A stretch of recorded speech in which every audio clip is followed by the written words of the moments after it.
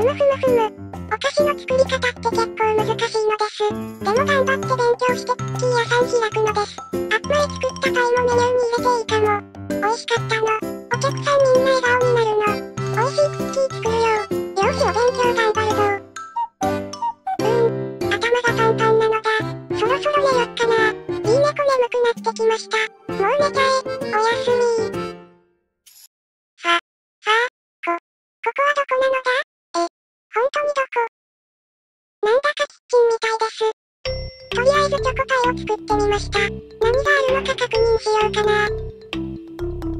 ここからいらっしゃいませできそうだね。夜なのにリーネコ眠くないのです。包丁がありました。これで切ってみようっと。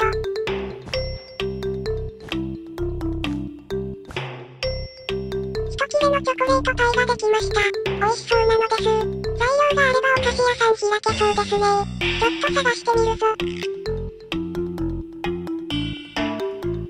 ボックスですにゃ。牛乳ですにゃ。しまっておくのだ。食器棚が並んでますね。ちょっと調べてみようかな。これは作業台なのだ。おおリンゴにスイートベリーにカカオ豆がいっぱい。これは嬉しいのです。こちらはパイ生地に卵に蜂蜜瓶。小麦がいっぱいいっぱい。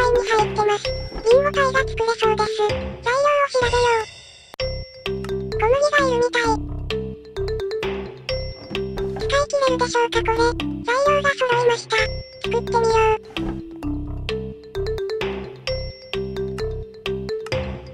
砂糖作り忘れてました。砂糖きびから作らないと。できました。早速作るの。です。きました。切り分けます。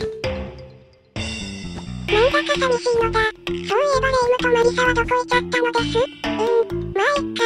棚にしまっちゃおう。他のパイもクッキーも作ってお店を開くのです。次はスイートベリーパイです。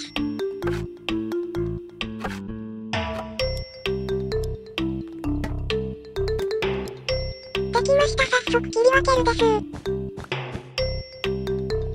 そしたら棚にしまいます。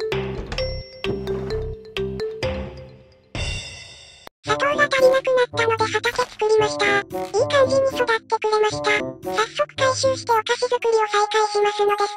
時間が経ったらまた取れるように一番下の砂糖きびは残しておくよ。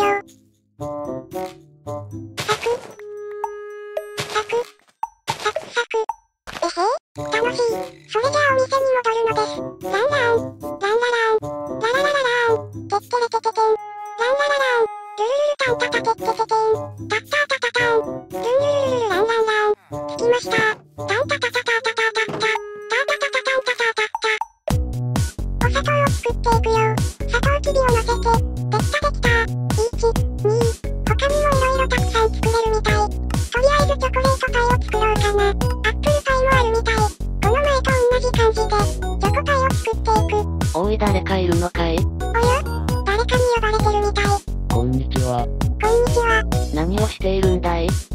お菓子屋さんの準備です。それはいいね。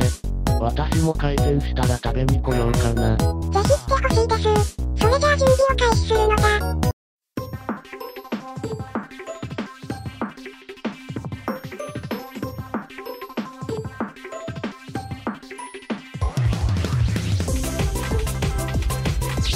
お菓子の準備ができました。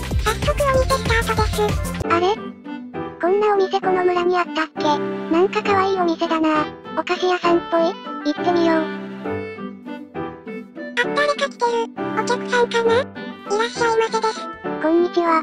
この蜂蜜クッキーを一つ買いたいんですけど。わかりました。ふふ、かわいい店員さんね。ありがとです。どうぞ。ありがとうとっても美味しそう。よかったです。また来るね。また来てね。キーください。これはケーキ。OK です。クッキーはバスケットから好きなのを選んでくださいです。わかった。これは？ちょっと待っててほしいのです。どうぞ。やったーありがとう。ありがとう。早く食べたいな。お菓子を見に来たよ。あ、村人さん。お仕事の休憩時間なんだ。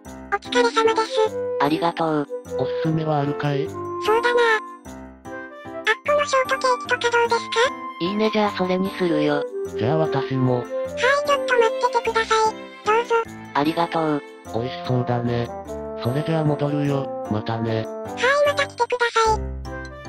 ふんふんふん、お菓子みんな喜んでたな。いい猫が食べる分は残ってないかな。